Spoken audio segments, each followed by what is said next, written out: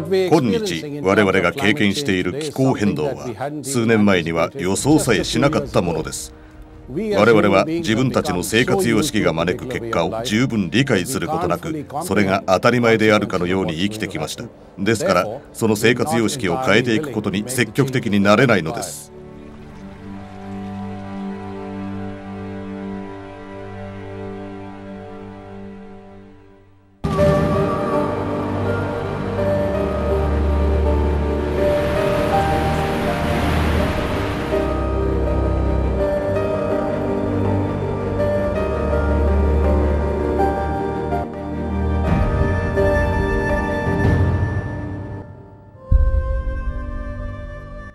クリーンエネルギー経済の創造を加速し風力太陽光生物燃料などの代替エネルギーによる発電能力を今後3年間で2倍にしなければなりません。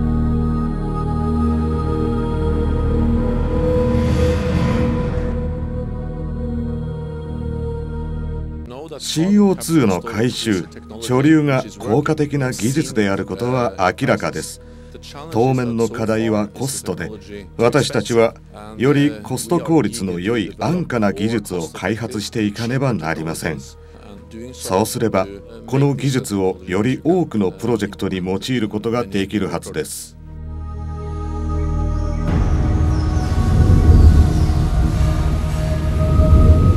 石炭は過去の燃料だと思われていますが実際は違います。現在世界のエネルギー供給量の4分の1は依然として石炭で賄われ中国では CO2 排出量の83%が石炭を利用しています。中国政府はこれを重く受け止めており2007年に気候変動プログラムを開始し CCS 技術の積極的な推進を約束しました。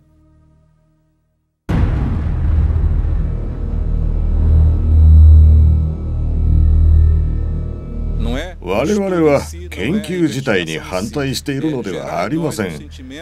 我々が恐れているのは CO2 回収装置により問題が解決されると高をくくって消費スタイルを変えないということです。もちろん装置だけではこの問題に対処できません。大切なのはあらゆるレベルでの責任です。発電で排出される CO2 の回収も含めてエネルギーの管理や使用方法を変えていかなければなりません。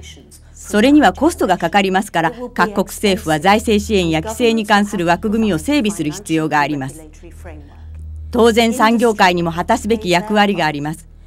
これは世界全体で取り組むべき問題で緊急の課題です。失敗は決して許されません。